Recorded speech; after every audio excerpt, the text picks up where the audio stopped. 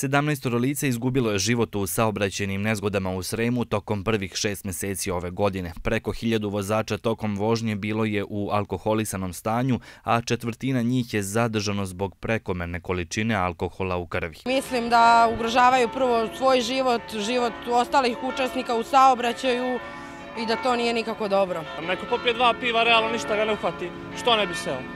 Ako znaš šta radi, ali naravno neko je pio mnogo, šta ima na seo? Zakon postoji, samo ga se treba pridržavati.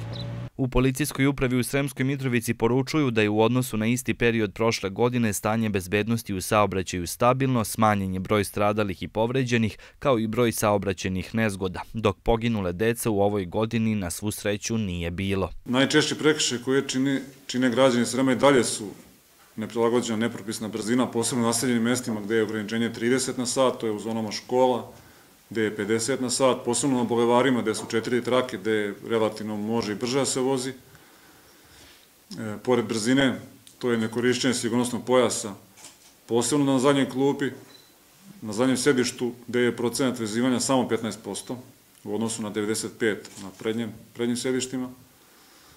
E, nekoriš, odnosno korišćenje mobilno, to je ono u toku vožnje, upravljanje vozilom pod destom alkohola, U nadležnoj upravi dodaju da trećinu saobraćenih nezgoda u Sremu izazovu mladi vozači od 18 do 27 godina.